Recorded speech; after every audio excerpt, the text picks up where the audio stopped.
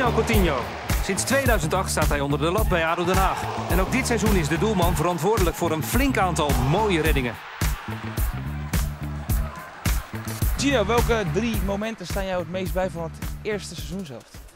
Ehm, ja, moeilijk. Ja, wat me het meest bijstaat is ja, recent. eh, misschien eh, PSV ehm, van Park eh, in het begin van de wedstrijd.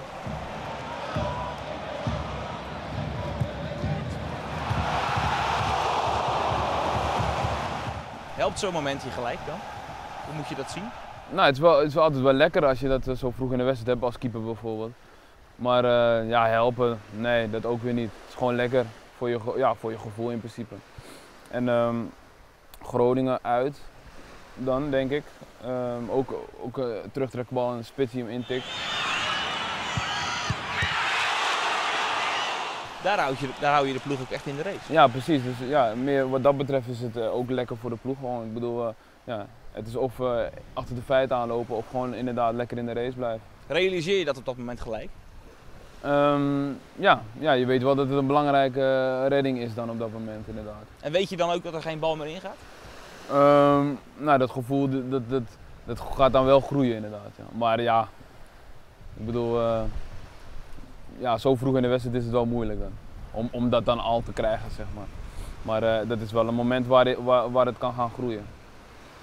En heb je er meer momenten? Ehm nou ja, eh, de penalty thuis tegen eh, RKC.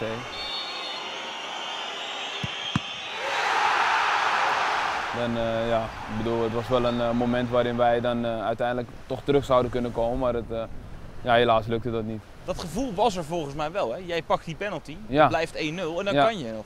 Ja, klopt, klopt. Ik bedoel, eh, heel de ploeg die, eh, die, die- voor mijn gevoel had dat wel, maar uiteindelijk eh, kwam het er niet uit. Wat voor gevoel geeft dat een keeper als je een penalty pakt? Ja, wel een goed gevoel, ja zeker. Het is toch een, ja, misschien wel een eh, 70-30 eh, verhouding qua, qua kans, weet je wel. Maar nou, als je dan wint, is mooi. Achter jij jezelf altijd kansloos in een eh 1 op 1 met een penalty? Nee, zeker niet. Zeker niet. En eh, ja, ik bedoel, dat, dat gevoel moet je ook niet hebben. Maar het is natuurlijk wel altijd zo, als hij goed binnen wordt geschoten, wordt, het, eh, wordt de kans wel kleiner. Wachten of een hoek kiezen? Ehm, zo lang mogelijk wachten en uiteindelijk zou je denk ik toch wel een hoek moeten kiezen. Want ja, als hij dan goed ingeschoten wordt, ben je altijd te laat. En dan heb je hem. Ja, En dan? ja, dan, ja, dan, Direct eh, die bal klemmen, pakken. Want vaak komen er een aantal debielen op je af die een tik Ja. tegen je kop geven. Het lekkerste is als je hem dan inderdaad vastpakt, dan, eh, dan, dan heb je in ieder geval daar de tijd voor. Maar als het dan een corner is, dan moet je focus direct overslaan. Dus ja, dan. eh, nee, ik, eh, ja, vastpakken zou het lekker zijn. En wacht je dan op die jongens die komen? Ehm, eigenlijk niet, maar het, is wel, het is wel lekker, weet je, wel leuk. Ik bedoel, een goal wordt ook gevierd, een mooie redding mag ook gevierd worden. Je viert niet zoveel hè, eigenlijk.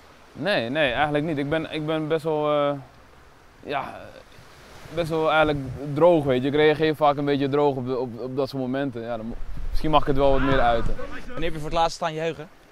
Ehm, bij eh, Groningen uit. Ja, dat we in ieder geval de 1-0 en de, de 2 helemaal natuurlijk. Maar weer alleen. Ja, je staat wel alleen, ja. ja. Soms wil ik nog wel eens een sprint naar voren trekken. Moet ik wel het geluk hebben dat zij niet eh, naar de achterlijn van de tegenstander rennen. Maar ja, in principe sta je alleen, ja. mm-hmm.